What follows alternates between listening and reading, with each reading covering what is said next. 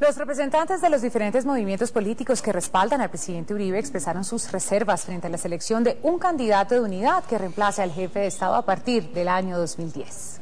Un candidato único de la coalición de gobierno que reemplace al presidente Uribe en las elecciones de 2010 como están las cosas hoy, es una misión imposible.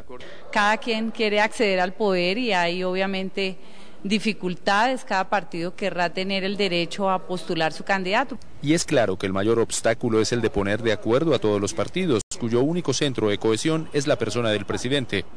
Es más fácil juntar 100 micos para una foto, ponerlos de acuerdo, que las actuales candidaturas uribistas en torno a un solo candidato. Incluso para políticos que están en el sonajero, lo más importante si la propuesta del presidente cuaja es llegar a una consulta. Donde todas las personas de la coalición que tenemos aspiraciones, pues realmente se presenten a esa consulta popular y de allí ojalá salga una sola persona con esa candidatura.